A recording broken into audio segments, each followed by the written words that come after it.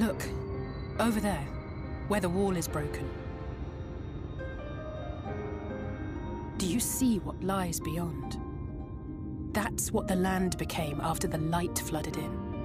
An empty white nothingness. Life cannot exist in such conditions.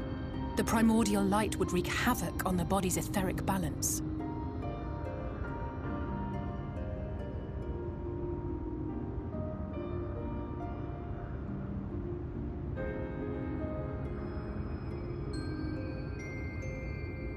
That nectarine you bought, it's Halric's favorite fruit.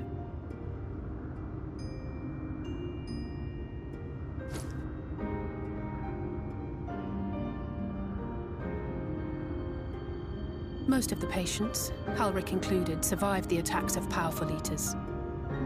But their fate was sealed all the same.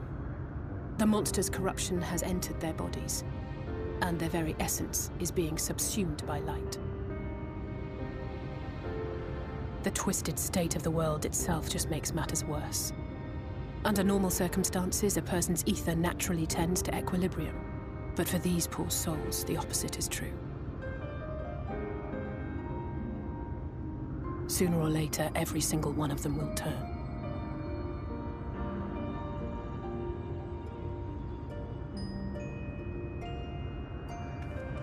Tesleen and the patients, they all know this.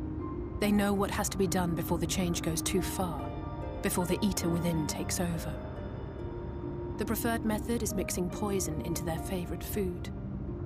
In my time here, I've borne witness to a lot of last meals.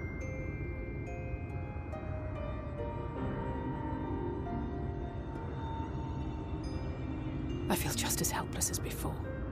No matter how hard I fight, it's never enough.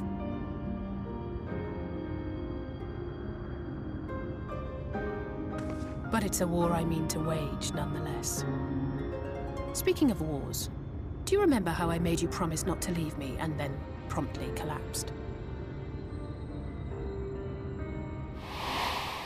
Well, let's just say I had a few choice words for the Exarch concerning the timing of his summons.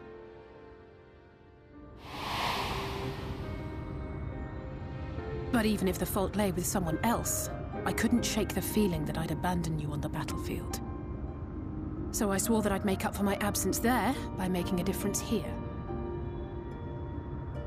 And that's what keeps me moving forward, even when things seem hopeless.